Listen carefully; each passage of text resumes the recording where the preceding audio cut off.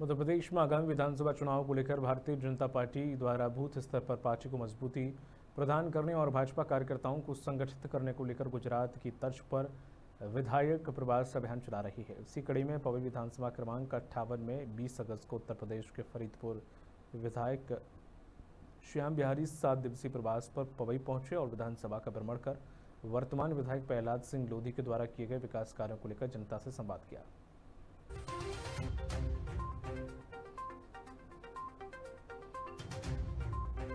बहुत चूँकि ये ज़मीन ऐसी है जहाँ पर 20 साल से भारतीय जनता पार्टी की सरकार है। मेरे यहाँ तो अभी छठा साल शुरू हुआ है, सातवां साल, और यहाँ का कार्यकर्ता उसे कोई बहुत ज़्यादा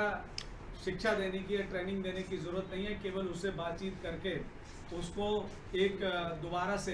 पुनर्जागृत करना है, उसको उत्साह दिलाना है, उसको जोश दिलाना है,